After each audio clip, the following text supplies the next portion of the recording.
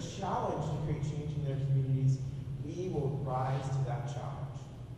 I wanted to show more and more young people and others, just really, I guess everyone in the world, how real our environmental problems are, um, that our environment is in a state of peril. And so for sixth grade, seventh grade, eighth grade, I was leading these environmental initiatives um, at my school campus where we planted trees, we created a community garden, we integrated environmental education to the curriculum. But for the young people who didn't understand the issues or or wanted to make a difference, where would they go? Where were their resources? And this is why I started Greening Forward, to help young people take action against the environmental issues in their communities. So Greening Forward empower this youth-driven change all across the country where young people have the desire, the passion for creating change. Greening Forward is empowering today's generation of environmental leaders.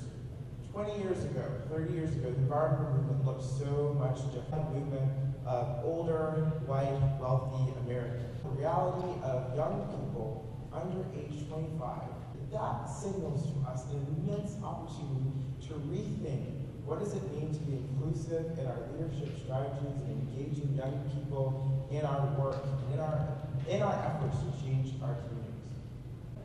I think that this is the perfect space for that to happen, to catalyze on the, the image of young people to drive the change that they wish to see.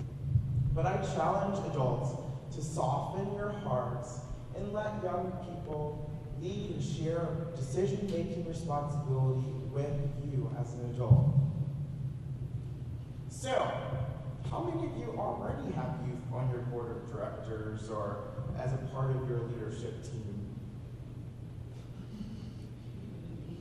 Yes. No I'm one of them. awesome. But I mean, really, I think that young people, obvious, young people are uniquely qualified to say what works for young people.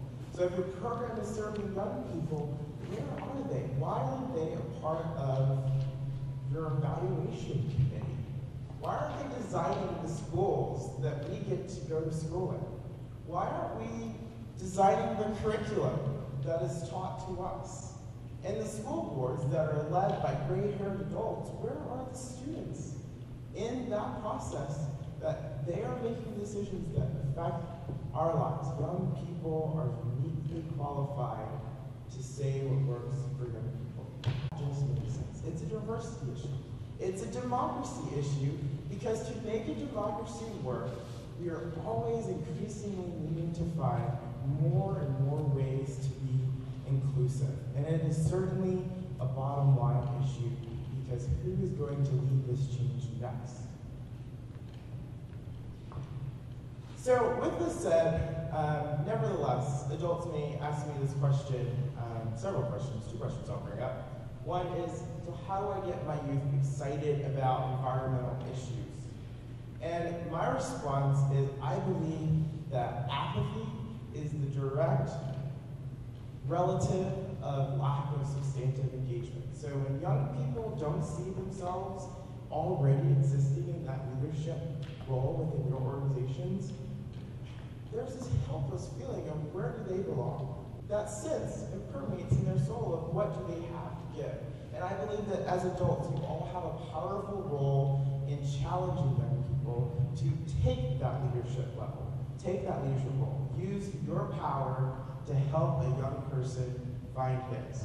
Because when youth are challenged to create change in their communities, we will rise to that challenge. Talk to many adults about the power of young people to change the world, and maybe it kind of sounds like we're superheroes, but we're not. The reality is we're not superheroes, but this is such an important topic that we need to be investing in today's young people and sharing that power and giving them direct access to making change about the things that directly affect us. I hear well-meaning and well-intentioned adults say youth are the future. But the reality is youth are today. Youth can drive transformational, substantive change if given the chance.